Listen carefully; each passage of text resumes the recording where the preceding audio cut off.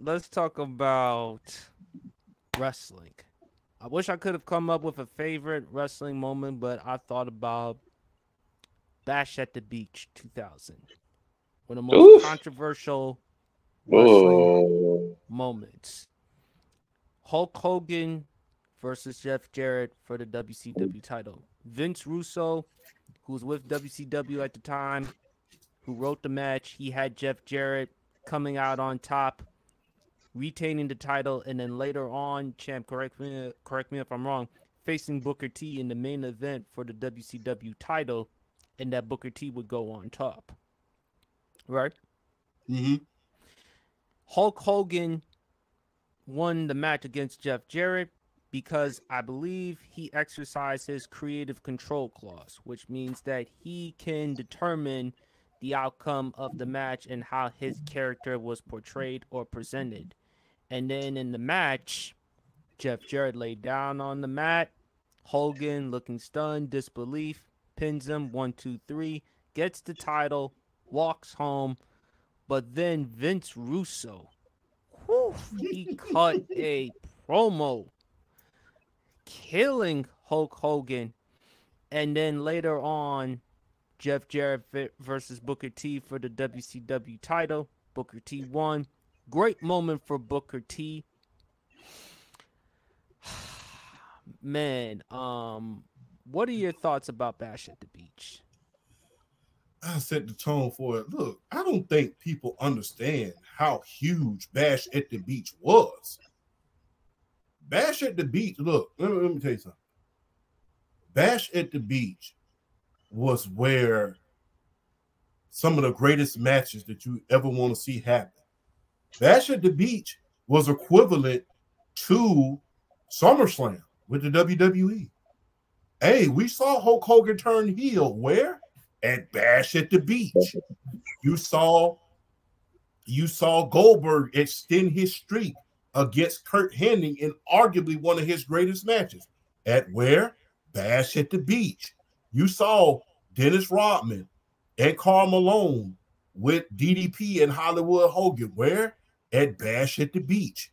So guess what? Bash at the Beach had a hell of a rap sheet for years to come. Years to come. So, I mean, for that to go off of there, I think that was the death knell for WCW at a certain point, man, because guess what? You know, for you to back then, it wasn't the internet age like it was now we wasn't really we didn't know that necessarily the fix was in at a certain point. And I think although that was one craziest, that was one of the crazy that pulled the curtain back a little bit too much. That pulled the curtain back a little bit too much, if you want me to be honest with you. Um as far as Vince Russo is concerned, man, look here, man. If you want to one person who I would love to interview, and I've been on record saying this, one person who I love to interview, man, is Jim Cornette. Because, man, I know his language can be a little bit colorful, but like I said, I want his mm-hmm. knowledge because of how long he's been in the wrestling business. But when he when you talk about Vince Russo, man, it's kind of like, ooh, be ready for some four-letter words after you know what? Because guess what? Jim Cornette got him for it as far as Vince Russo. And I understand. It's kind of like the way Jim Cornette looks at wrestling the way we view sports. It's a way of life. This is what I do. I love it. I love what I do. I love coming out here entertaining it. I love, I'm not just in this for the money. I'm in this because I love it and I can make a difference. I can show some young people how to make money as well. I can send that I can send the next generation off with my knowledge and everything. I could show that that the wrestling industry, not only the wrestling industry, but history itself, you can learn more from the past than you ever can from the present because history always repeats itself. And if you look at a lot of wrestling, you know, history often repeats itself, you know.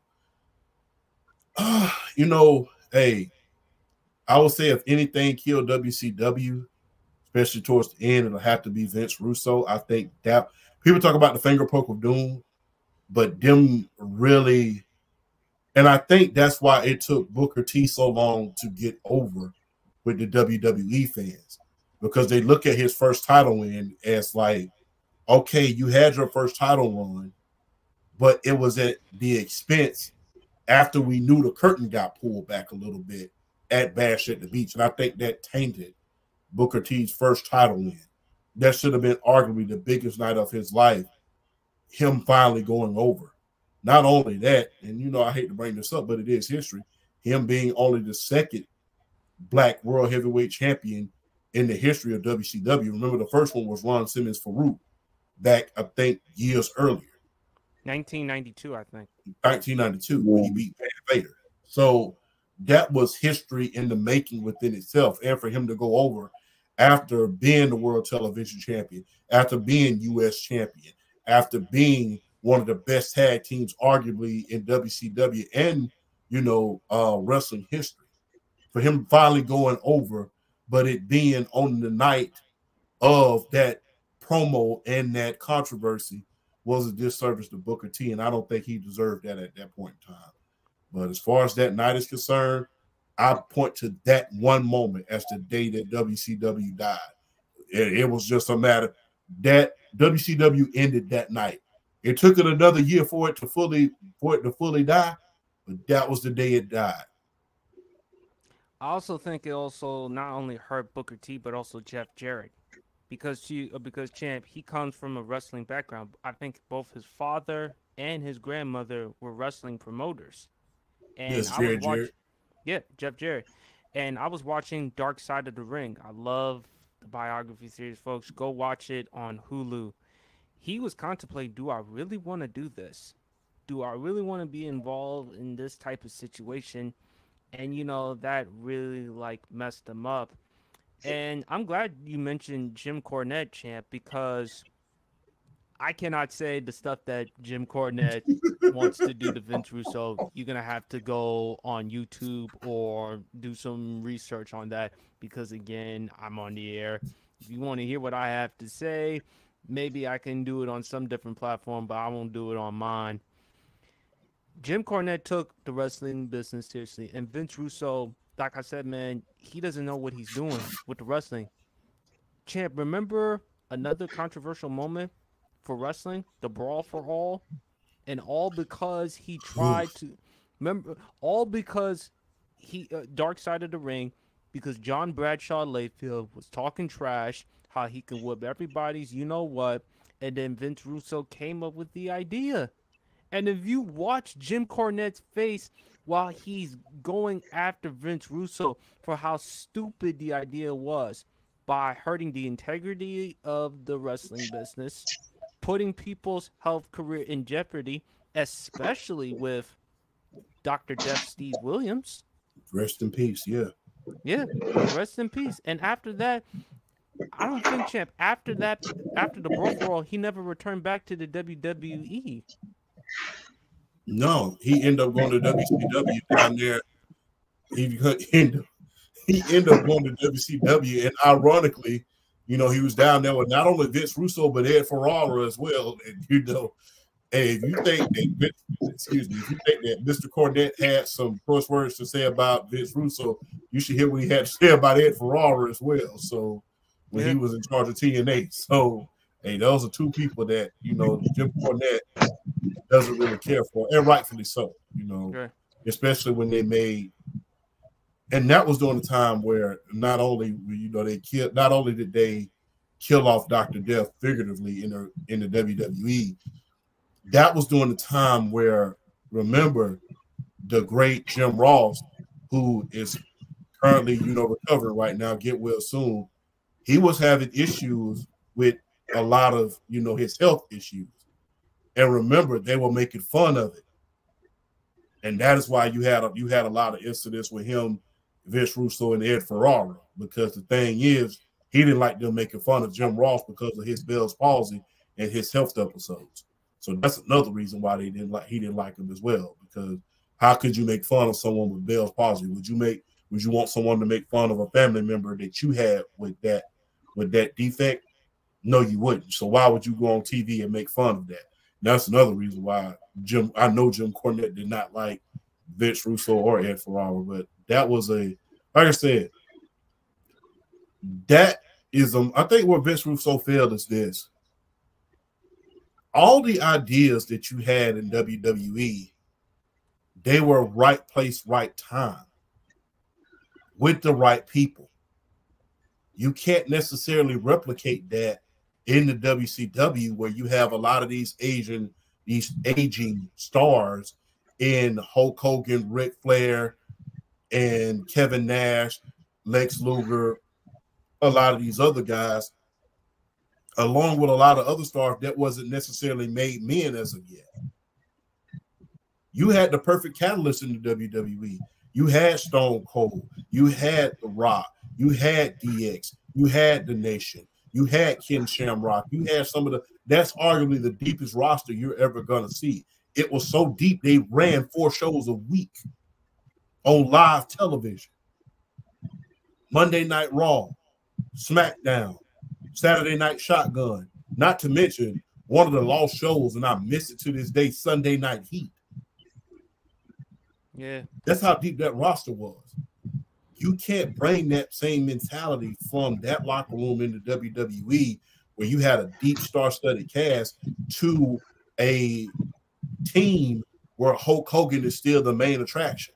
And you had a and you had a wrestler, no disrespect to Goldberg, UGA, go dog, but you didn't necessarily have a guy that can give you a one hour match in Goldberg. You didn't necessarily have that. You didn't necessarily have a Shawn Michaels. And you had a whole lot of guys that were being misused.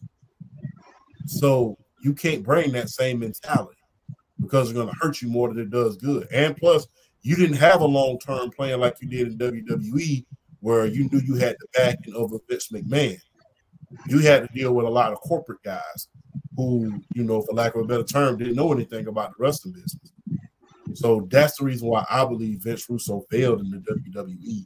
The, well, excuse me, the WCW because of that. And say what you will about about him. Hey, a lot of things happen, but having a Vince McMahon to filter your ideas through, especially back then, at his apex where he was having where people don't realize how quickly he was having to recreate these guys. Remember, people don't understand this.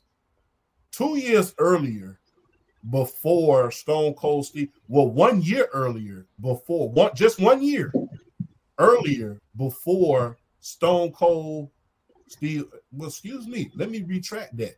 Just six months in 1996 when he faced Bret Hart at Survivor Series. Remember what Stone Cold was doing in WrestleMania? He was facing off against Savio Vega. Let me say that again. He was facing off against Savio Vega just five to six months earlier. So Vince was having to create, having to recreate stars very, very quickly. Not to mention he lost Shawn Michaels in the heat of that of the Monday Night Wars. You lost your your showstopper in the middle of the war. So people don't realize how quickly he had to recreate those stars after losing the Hulk Hogan, after losing to Macho Man, he, especially after losing to Bret Hart. Everybody thought it was over. So it pays to have a Vince McMahon to filter your ideas through, regardless of what may have happened uh, off the camera. But you didn't have that in the WWE. You had more guys who did more corporate guys who didn't know anything about wrestling. And that's another factor that went into it as well. BRF. Hmm. Bash at the Beach. That was one of my favorite. That was one of my favorite WCW pay per views. I feel like with Bash at the Beach, okay, if you look at the WWE, you look at their big four. I mean, Royal Rumble, WrestleMania, SummerSlam, Survivor Series. I, when I grew when I grew up, I was WCW was my go-to at first, and I felt and I kind of feel like they're equivalent to their big four. I feel were Super Brawl, the Great American Bash, Bash at the Beach, and Starcade. I feel will kind of be like their their equivalent to the big four. And Bash at the Beach 2000 just it destroyed it really destroyed that pay-per-view. And it's like just all of the the just the aura and the legacy that that that that show in particular had built, and you know, just I felt I felt I felt bad for I felt bad for Booker. I felt bad for Jeff Jarrett because they they should have been they should have been two of the main attractions at the time. They should have been two of the guys getting pushed. But you know, it was always Hogan, it was always Flair, and then it was always Nash and Luger, and just like, I mean, you you got Booker T, you have Jeff Jarrett, you got Scott Steiner, you got these guys coming up, these new, these new younger guys trying to make an impact, and you keep pushing the same people over and over and over, and it's just, it's it's just like, I mean, what it's like as like as a guy as a guy to come up in the WCW at the time. What do you do when you know the same people are going to be getting the big pushes, and then like when you feel like your time has come, one of those guys could be like, "Hey, you know, we should go this route because you know creative control and da da da da." It's like, like what do you do? Like what do you do? What do you do with that? Like I still I still feel personally like the finger poke of doom at the beginning of '99 after Starcade where Nash beat Goldberg, I felt like that was the start of the downfall. And I and and I remember hearing Nash kind of explain. It. I think basically what it boiled down to is ultimately they knew Goldberg was kind of starting to get a little stale with the fans. He was starting to get kind of played out. It was like he was going to go to certain areas where he was going to be booed, like the wrestling cities or whatnot. They was going to get booed, and they were going to be the ones getting cheered and just like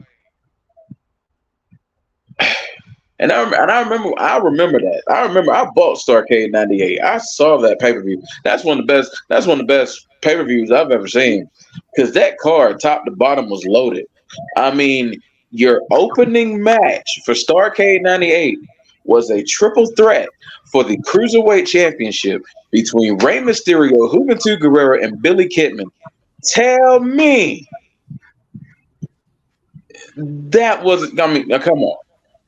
And it's just like it's just like I feel like the finger poke of doom after that just started killing the momentum, and then it was like Bash at the Beach was just like that big old black ribbon of death.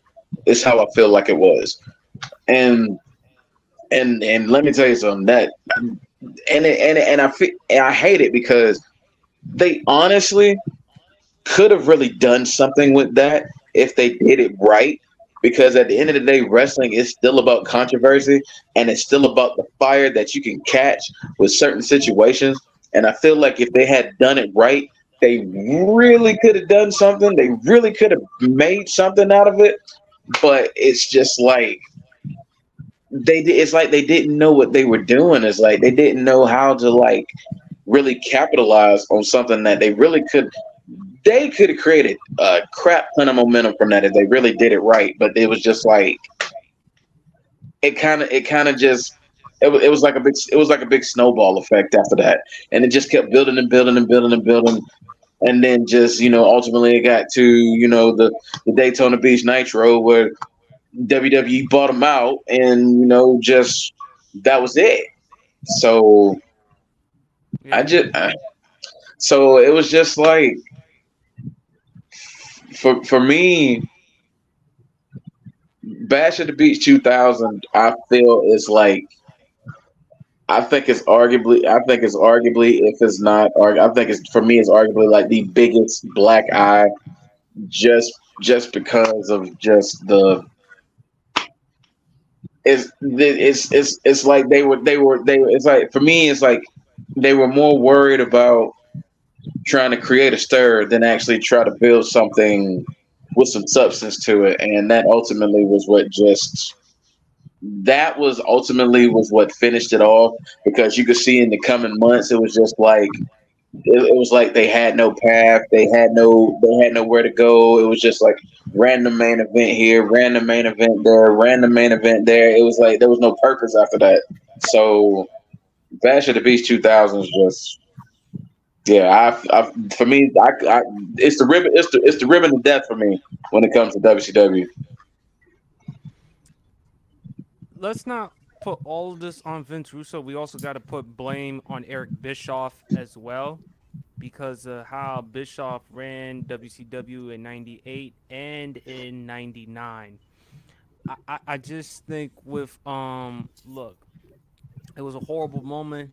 Unfortunately, you could see once the Attitude Era came, WWE was taking over. Eventually, in 2001, Vince McMahon bought the company, bought WCW, and when I look at Bash at the Beach, I mean, it, it was a really, uh, uh it, uh, it's like the dark. It's like it was horrible. It was horrible for the company. It was horrible for the wrestlers. The only person that benefited was Hulk. At the end of the day, because again, he had the the money, of course. He, I mean, and rightfully so. Whether anyone liked it or not, Hulk Hogan did have creative control in his contract, so it was well within his right to determine the outcome of the match. I just hated it because, again, to Champ's point, it took away a great moment for Booker T because not a lot of black wrestlers get that type of opportunity to become heavyweight champion at that particular time. And also, you put Jeff Jarrett in a horrible predicament. And like with Vince Russo and Eric Bischoff, the problem with Vince Russo is that he tried to use the Jerry Springer approach. And the other problem, champ, with Jim, the problem Jim Cornette has with Vince Russo, it's what it's not just the fact, it's not whether Vince Russo knew wrestling or not, is how he treated wrestling. He acts as if it's nothing. It's not real at all. Jim Cornette takes huge offense to it because again, you're factoring, you have to take into account the injuries.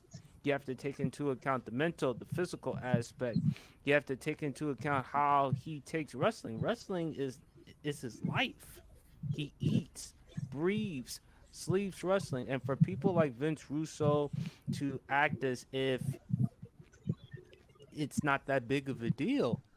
And I hate to say this, but Vince Russo is, is proving more and more. I don't like using the term, is proving that he's a liar. I can't trust him. Because again, the Montreal Screwjob champ. What Jim Cornette recalls Vince Russo eyes bugging out, to which Jim Cornette explained the double cross move, mm-hmm. putting Shawn Michaels on uh, uh, the sharpshooter, which is Bret Hart's signature move, on Bret Hart. I don't know. Uh, uh, look, I believe Jim Cornette's story way more than I believe Vince Russo's story because at least Jim Cornette is getting into detail. And in the Dark Side of the Ring, season one, episode two of the Montreal Screwjob, I don't know if it was his attic or his basement, but there was a huge collection of wrestling books classical wrestling books and magazines. And he said you can learn so much stuff about modern wrestling from these classic wrestling books and magazines because history will always repeat itself. Then he brought up the other Montreal Screwjob. Remember 1931, the Battle of Henri Deglane.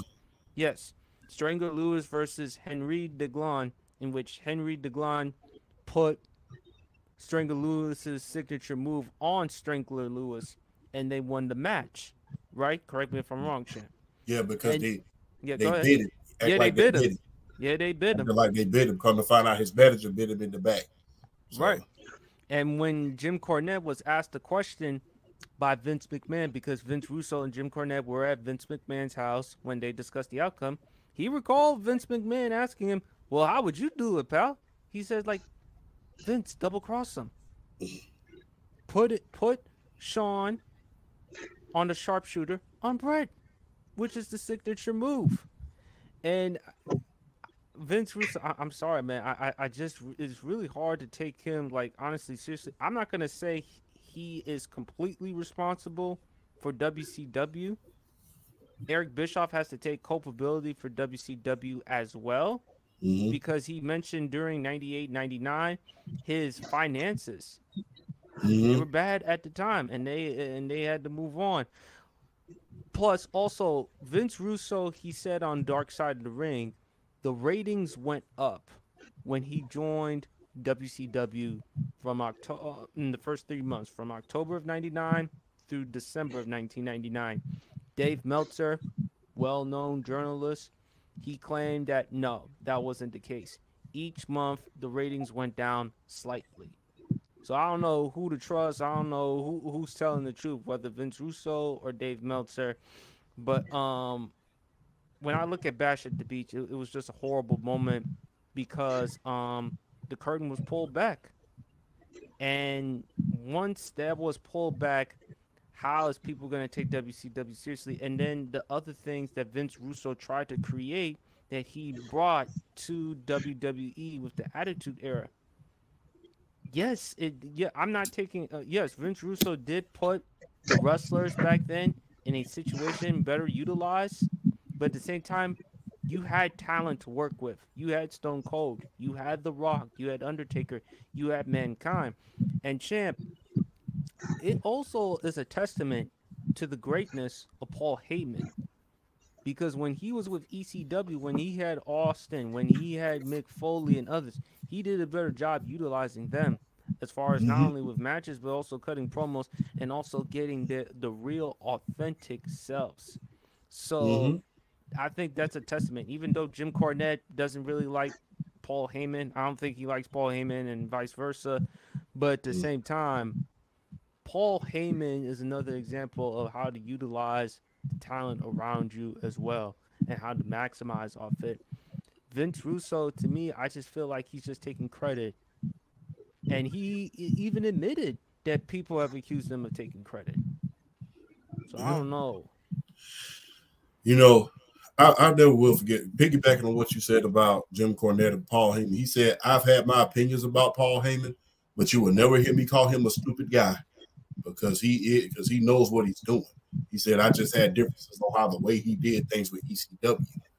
But I mean, that, that interview's out there. I'll send it to you a little bit later. Oh, yeah, I Um, saw that. Oh, I saw that. I- yeah. But when but when it comes to Vince Russo, it's a glaring difference. Yeah, it's very, very different. I gotta ask y'all this question before we move to the next segment.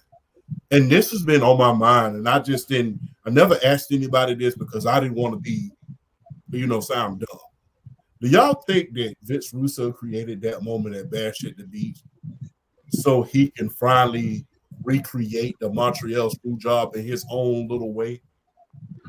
In my opinion, he said that he pitched everything on Dark Side of the Ring. If you watch it carefully, champ, he said I pitched the idea to Hogan and Jarrett, with Hogan winning the match, with Jarrett laying down, to cutting the promo, oh, to the Hogan leaving, to cutting the promo, killing Hogan, to Booker T winning the title. Bischoff claimed it wasn't my idea. I guarantee you it wasn't Hulk Hogan's idea. And by the way, Hulk Hogan did have creative control. Bischoff also claimed that he and Hogan had no idea that Booker T was going to win the title. And also remember doing that, doing that as well. Russo was ruled out because they called, you know, remember Bischoff called Brad Siegel, Yeah. the head of TNT, the head of TNT at the time. And Eric recalled Brad Siegel telling him, go with Eric's idea. Yeah. So, I, I, I, I, I mean, like I said before, man, Vince Russo, he's not really particularly well liked around the wrestling industry. Let, let, let's just leave it at that. Only, I mean, the only people that really have said positive things about him, Booker T, of course, because at the moment, Mick Foley. I mean, it's hard to say anything negative about Mick Foley. He's like the nicest guy in the wrestling business. Even Jim Cornette has admitted it. But when I look at WCW, and, and, and you had talent, Mm-hmm. tremendous talent, and the fact that you were unable to maximize it and you and fail, I mean, damn man. And, and and Eric Bischoff, he was with the older um older guys, the Hogans, the Flairs. Vince Russo was with more of the younger guys. You had an embarrassment amount of talent, and um Bret Hart, he did an interview with Stone Cold Steve Austin on Broken Skull, Skull ses- sessions. He rec- he actually said, you know what? You know who told me about how WCW is? You. Because don't go there. A lot of people talked about don't go to WCW. They're, they're the dumbest imbeciles. They don't know exactly what the hell they're doing. And Bret Hart even admitted that his tire spun out from the time he arrived until the moment his career ended. Hey, I gotta say this, man. Look, for you to not utilize Bret Hart and you to not the biggest injustice in, in wrestling history was you not putting Bret Hart in the ring with Hulk Hogan. Whew. That is a that, that is a the new generation versus the golden age, a match that we had yet to see. That was the biggest injustice that you ever did. Another huge injustice that you did is that you didn't put Sting in the ring with Bret Hart to defend the title the very next month. That should have been the very next guy because he was the referee during that match. So huge, big injustices that you did not once but twice. Because guess what? You could have still been beating them in the ratings right there. Hogan versus Bret Hart. The history was there. Him not wanting to pat him rumored, I will say rumored, not wanting to pass the torch to Bret Hart in WWE. Instead, opting to go with Yokozuna. That was the rumor, but you know, hey, rumors are like peanut butter. Everybody has them. But What's wrong with peanut butter? I can't say. Look, I'm not going to use profanity on your show. You, I had to use another term. but um, allergic to peanut butter or something? No, I eat about a of fools. But, but let me get my point. I'm, I'm, I'm, I'm. But but you know, for you not to put Bret Hart in the same ring as Hulk Hogan, big injustice. For you to not to put Sting at his at the height of his career in the ring with Bret Hart, another injustice. There were so many matches that you could have had with Bret Hart. You could have used you could have utilized him very very strongly as far as you know storyline. There were so many guys in WCW that he could have worked with. Hell, you could have reignited the Lex Luger versus Bret Hart feud. Because remember, Bret Hart beat Yokozuna, whereas Lex Luger didn't. Yeah. The Lex Express did not succeed. So there are so many storylines that you could have made with Bret Hart there. I mean, mainly with Hulk Hogan and Bret Hart. You could have put Bret Hart over in WCW almost immediately. And you could have did it at Super Brawl. Yeah. You could have did it at Super Brawl the very next year. Instead, you know, Bret Hart ends up fighting Booker T at a time where he wasn't as over for the World Television Championship. And unfortunately, the whole match ends in a smog. So A lot of things. All right.